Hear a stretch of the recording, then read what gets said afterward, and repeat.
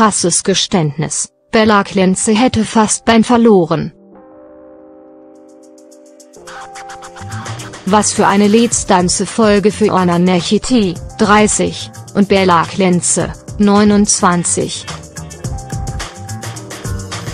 Während seines Quicksteps zum Song When I Find Love Again von James Blunt, 44, knickte der Schauspieler plötzlich um.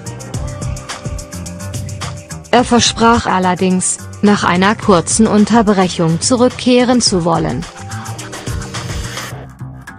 Die Behandlung scheint angeschlagen zu haben, denn das Duo performt zum zweiten Mal. Kurz vor dem Comeback macht der 29-Jährige klar, er will kein Mitleid und macht dabei ein überraschendes Geständnis. Der Alles was zählt Star hat eine lange Krankheitsgeschichte hinter sich, wie er offen vor dem Publikum gesteht. Vor zwei Jahren habe ich fast mein Bein verloren. Zwei Jahre später stehe ich hier und ich will weiter tanzen. Mir wurden jetzt zwei Spitzen reingejagt, aber wir kriegen das hin. Eigentlich hatte er die Geschichte für sich behalten wollen, denn er wollte keine extra Behandlung durch die Jury. Um die Hintergründe seiner Verletzung zu erklären, erzählte er sie dennoch. Allein für den Mut, den Auftritt durchzuziehen, bekamen und Standing Ovations von den Zuschauern im Studio. Mitleid erhielt der Horbütenzer, genau wie es auch in seinem Sinne war, nicht von der Jury.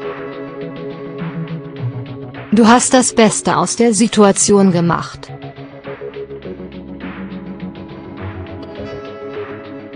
Natürlich wart ihr keine Einheit mehr.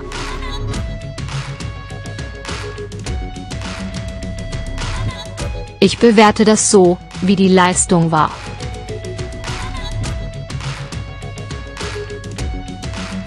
Das haben die anderen aus Respekt auch verdient, lautete Joachim Lambis, 53, ehrliches Urteil. Für den Quickstep heimsten und Tanzpartnerin insgesamt 17 Punkte ein.